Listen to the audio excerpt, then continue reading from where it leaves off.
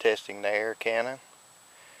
As you can see I've got it out here ready to go with about 100 psi. The capsule is inserted. Along the ground you can probably see the wire, the number 20 stranded insulated wire. Got it spread out along the ground to keep it from tangling up. At the end I've got a stick tied to it kind of as a reference to see how much it pulls up.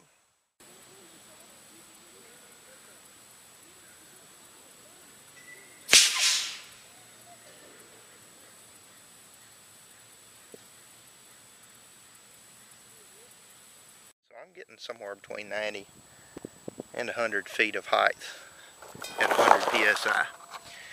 But I should have the capability to go, uh, oh, probably uh, 150 psi pretty safely. So I should be able to top end these trees like these around here, right over here in the park.